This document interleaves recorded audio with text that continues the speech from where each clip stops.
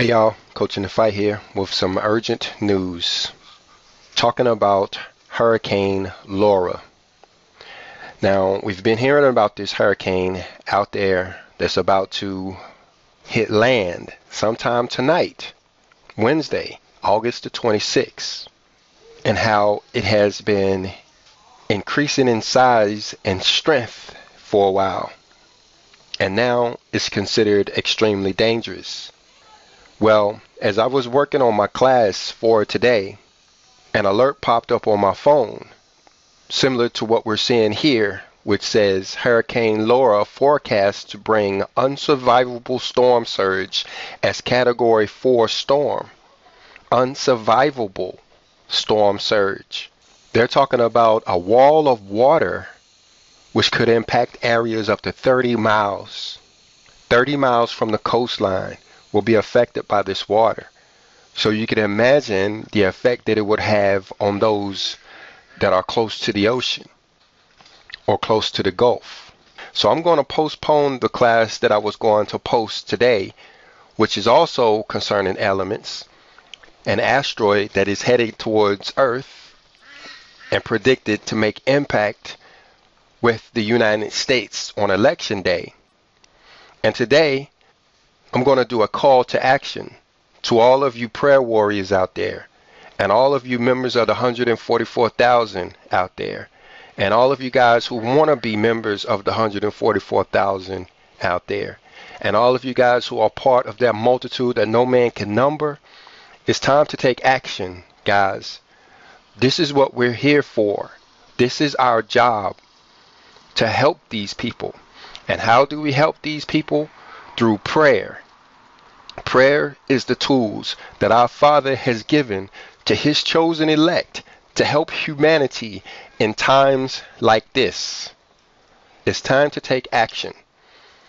A lot of you guys will jump up on channels and say, "How I'm 144,000 this and I'm 144,000 that." Normally, my only comment is that you shouldn't be telling people that. But now I'm telling you that it's time to go to work. If you are truly 144,000, it's time to go to work. I hope you hear the seriousness in my voice. These people need our help. These people need our help. There's no telling how many people are in the path of this dangerous storm and are about to be killed, made homeless, get stranded, be separated from family members. All kinds of things are about to happen there in Texas and Louisiana. So let's go to work. Now, what you're about to hear and see next is a video that I posted about three months ago on our ability to control the elements. This is scriptural text showing us how the Messiah was only our example when he went in and told the wind to be still, he was letting us know that we too have that power. So, what you're about to hear is how it is that we're supposed to take advantage of that power.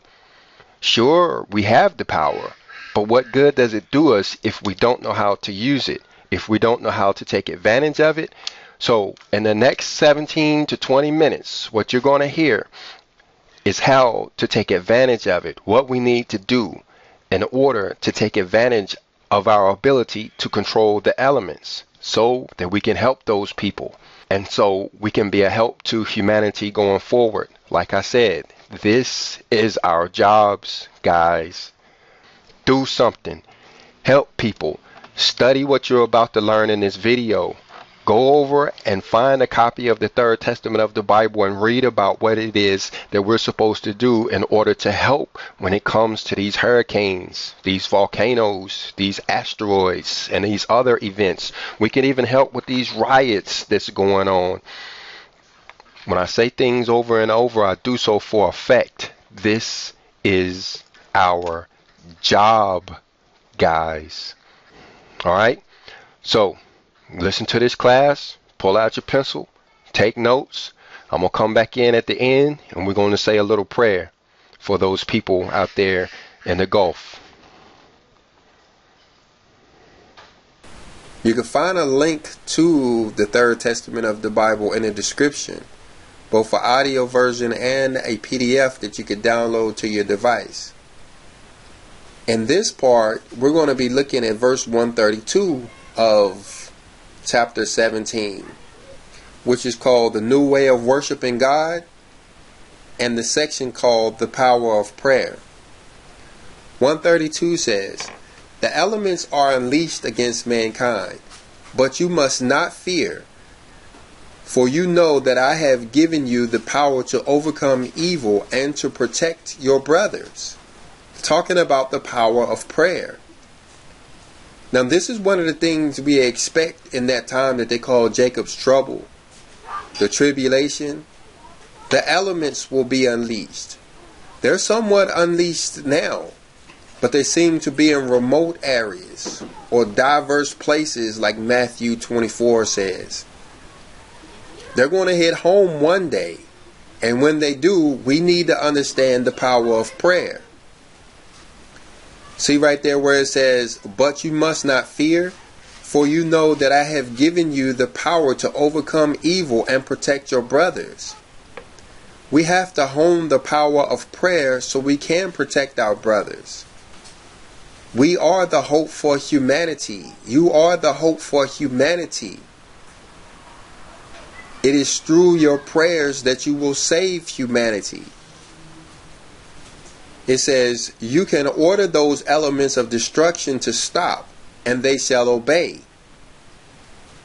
We did a class on this not too long ago, talking about how we can control the elements. See, the Messiah was our example. He was letting us know how many powers man truly has when he's obedient to the law. And one of those powers is to be able to control the elements.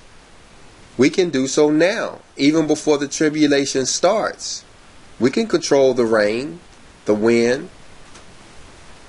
We just have to do so with love in our heart, not for vanity, but to help others. Like it says, to protect our brothers.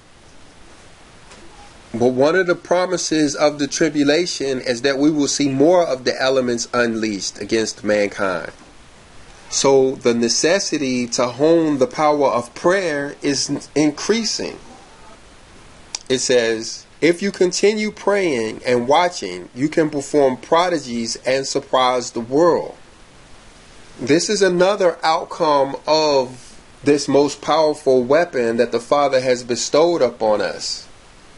When the world sees what miracles can be performed by way of prayer and thoughts, many of them will want to leave the dark side and want to come over to the side of light. They will want to be able to perform those prodigies as well. Others will start to understand that the Father is real and give them hope that He really does exist and that He really does love us and care for us and that He is all powerful. They will come to that conclusion when they see that He has bestowed powers on us as well. 133 says, Pray with purity, make communion with my spirit. Do not seek out a particular place to do this. So we've learned in the other parts of this series that we have to learn to pray silently. We talked about how a verbal prayer is a materialistic prayer. Well, having to go down to the church in order to pray is materialistic as well. That's placing a limitation on your spirit. You don't have to go down to a certain place, a particular place to pray. You can pray anywhere anytime, in any circumstance. He says, pray beneath a tree, on the road, on a mountaintop, or in the corner of your bedroom. In other words, find a quiet place to pray. Pray by yourself, spirit to spirit, silently. When you do so, your spirit is in direct communication with the Father. And when you do so, he will descend to converse with you and illuminate you and to give you strength. So don't be like those who only think they can pray down at the church or put on a show when they pray. Many of them, if you ask them the right questions, will admit that their prayers are ineffective. We cannot afford for our prayers to be ineffective. Remember, our prayer is our number one weapon and our number one defense. We can't go into the battlefield with faulty equipment. Notice back up there how it says to pray with purity. We have to pray with love in our heart. We found out in another section that love is necessary when we pray. Not only can we not pray with hate in our heart, but we also learn from the shepherd of Hermas that we can't be doubtful when we pray. A doubtful prayer is harmful to us. A doubtful prayer will not make communion with the Father's Spirit. Neither does a prayer that is not full of love for our brother. We have the ability to control these elements the earth, the wind, the fire, the water. We can control that stuff. We can control the epidemics that are taking over the world. We can control we can control these wars that are going on by way of prayer, guys. We just gotta learn this stuff and, and, and use it to our advantage. I don't know if I've said it in this video. If I did, let me go ahead and repeat myself. Prayer is the number one superpower that uh, that the 144,000 uh, chosen elect will have in the end times. But the rest of us, we can start to use this power now. It's, it's not like they're anything special about these guys, other than they are the front runners. They are the first ones that's going to go on to come back and help us to learn. But we can learn this stuff now. We can learn to use these powers that the Father has given us now. So let's talk about the power of the children of God over nature. Uh, verse 14 says, The elements will obey you when you comply with my law, and when you ask it of me for the benefit of your brethren. All right, so then we're going to take this little section. There's only a few verses here, but we're going to take these a little bit slower. This is very important stuff to see right here. He says the elements will obey you when you comply with my law. Okay, so this is why a lot of people don't recognize that we can control the elements is because a lot of people aren't obeying the law.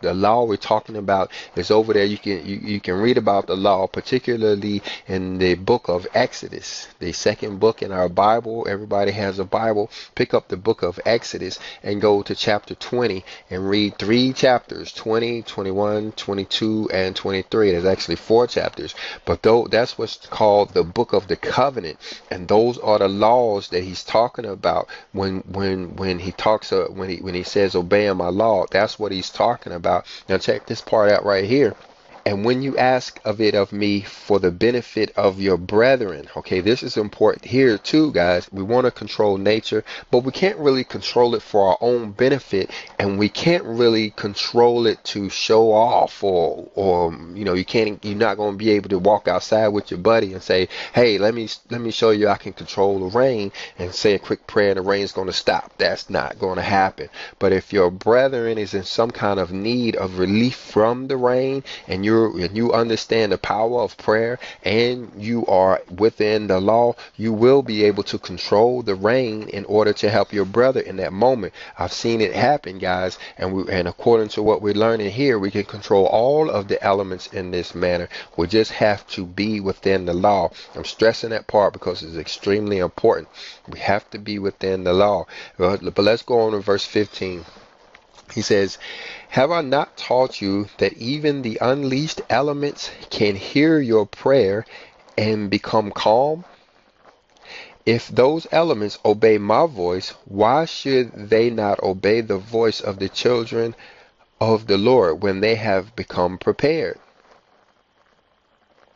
All right, talking about this, this is talking about the Messiah over there. You remember there was an instance where the Messiah was on a boat sleeping, and the wind was about to overturn the boat. His disciples went down and said, uh, uh, "Father, you're sleeping, and we're about to be destroyed by this wind." And the father, the Messiah, woke up and told the wind pretty much to sit down and shut up. He said, "Peace, be still." And the the uh, the wind just stopped blowing there. And what he's talking about here is he he this was a demonstration of how we can control these elements. And what he's talking about is how we too have this power if we become prepared. And that's another. That's the same thing as saying up there, guys. We have to comply with his law. We have to be prepared. So there's a lot of people who who are going to try to start controlling the weather and trying to control elements after this, and we should. Anytime there's a hurricane, anytime there's an earthquake going on, anytime there's anything going on that's affecting a whole lot of people, tornadoes and such, that's the first thing we should start doing is start praying for these individuals, praying that they are protected from the wind, or even praying to get, have the, these elements to stop and give these people relief. But if we're not prepared, we may not see a lot of these prayers being answered. We may not see a lot of relief going on. So that's the first step, guys is well now I ain't gonna say it's the first step. I'm saying start praying now. Even even if you don't think you are prepared, start trying to use these powers now to control these elements, but then start getting prepared to go get into these go get into those laws there like I said, it's in Exodus chapter 20 through chapter 23. Exodus chapter 20 through 23. And what you're going to find, just just for a hint, I know some of you are actually going to do it. What you're going to find is that you're pretty much in compliance with the covenant. The only things that you're out of compliance with are the statutes the statutes are these mandatory feasts that we're supposed to be keeping every year. Feasts like unleavened bread, feasts like the Feast of Weeks, some call it Pentecost, and then the Feast of Booths or Feast of Tabernacles. These are three feasts that all of all of um, the children of Israel are supposed to keep three times in a year. There's actually seven of them, but we read that there are three that are absolutely mandatory. And because we're not keeping these feasts, we're actually being tricked out of keeping these feasts. A lot of people aren't doing them. We actually repay, replace them. Instead of doing unleavened bread, people are doing Easter. Instead of doing um, tabernacles, they're doing Thanksgiving and that, that kind of thing. So, the, but other than that, you'll find out that many of these laws are like common sense, you know, how you treat your brother kind of steps. I know I talk a lot about but this stuff, guys, but it's extremely important. Let's look at verse 17. He says, Now, when I have told this people that the elements may obey them, there have been those who have not believed. And I say that they have had reason to doubt, for nature will never obey those who do not recognize it and who profane and mock it. All right, so now uh, there's a lot of people watching this video, and you know, they, they probably even clicked off already when we're talking about how we can control the elements. They're like, oh, yeah, right, whatever. But, you know, nature is never never going to obey anybody that's mocking it or profaning it. You know, it, that don't that don't even make sense. That you pick it on nature one minute and then the next minute you're asking nature to do you a favor. Who's actually going to do that? No, not even a person is going to do that. Now we're expecting nature to do that. No, it's not going to obey. We have to be, we have to rebuild this harmony with nature for it to start to have respect for us and start to listen to us. All right, let's go on. It says, But he who knows how to live in accord with the laws of the spirit and matter, who lives in harmony with all that surrounds him, will identify himself with his creator, making himself worthy of being served and obeyed by the elements, as corresponds to all children who know to obey their father, the creator of all that exists. Okay, so this is important right here. If we want the elements to obey us, what does it say? Serve and obey. Do you want the elements to serve and obey you? Well, you have to obey your father, the creator of all that exists. You know, how can you expect that the elements to obey you when you won't obey the creator? That that don't really make sense. But we'll say that one for another video. Let's go on down here to verse 18. He says, I neither lie nor exaggerate when I tell you that the elements can hear your voice and respect and obey you. He said, well, what about those people out there in places like Katrina when they was having that big hurricane? You know, and those people in Houston when they was having a big hurricane and the people over in Puerto Rico that's having the earthquakes and, you know, all of the stuff that's going on over there. You know, uh, okay, you say, well, why isn't why isn't the elements obeying their voice? Well, I, I, I can come up with a couple of reasons. First of all, are they asking to the elements to obey their voice? Do they have enough knowledge and understanding of their power over the elements to even ask the elements to stop? Or do they think that these elements are taken over by chance, that it's just something that's happened? The, the storm is just, you know, it's, it's just bad luck that they're getting the storm. And two, are they obeying the law enough to where they can actually have the power over their elements? It's a lot to think about there, but you know, that's where you guys who are watching this video come in. You can actually pray for these individuals, knowing how this is working. When we see these storms on television and all on the radio, we hear about the storms on the radio or whatever. We can go in and we can start to to to take action by way of our prayers. A lot of times, that's why I even listen to the news um, even more than I used to. I listen to the news nowadays looking for opportunities to, to pray for people in trouble. When I start to hear about earthquakes and start to hear about storms and that kind of stuff, I go into prayer warrior mode and start praying for these individuals, talking about like epidemics and all kinds of stuff. We have all kinds of um, things giving us the opportunity to get in and help our brothers by way of our, our prayers and these powers that we have. So now, let's get in the fight, guys. Let's go to work. Now, here are some ways you can help. First of all, you can help get the word out by supporting this video. Hit that share button down there. When you do so, it puts up options for you to share. Real easy. All you have to do is click a button and it's actually going to help you to share this video on your Facebook or on your Twitter. Leave a comment on this video or even go in and look at the other people's comments and leave a reply to those comments. If they've left a good comment, hit the like button. If they've left a bad comment, hit the dislike button. All of those actions trigger the YouTube algorithm to make this video available to other people on YouTube and will help this video to get seen, getting other people to act as prayer warriors and start to help these people by way of prayer. And then when you're on other channels and other videos and you're giving comments, post prayers in those comments for those people out there. Many times people don't remember to pray for one another. And a lot of times they don't know how to pray at all. And if they read your prayer in a comment, they too can become prayer warriors helping those people. You can post prayers for them on your Facebook or in your Twitter account. We really need as many people as we can praying for these people so that we can tilt the scales in their favor. We will save lives, guys, and we will be rewarded for it. Let us pray. Our Father in heaven, hallowed be thy name. Father Abba, we come to you today, Lord, asking that you will look down on those people in the Gulf of Mexico, Lord. They're in this storm path, Lord. We ask that you will curb the wind, that you will curb this hurricane, that you will steer it away from your people, uh, steer it away from the people that need your help the most, Lord. We ask that, you, of course, your will to be done, Lord, but we let it be your will that you will change the trajectory of this hurricane, Lord, and help those people down there. We use our power of prayer, we use the power of our thoughts in order to help our brother, just as you told us to do. We're in the fight for you. We're in the fight for these people, Lord. In your son's name we pray. Amen. And so be it.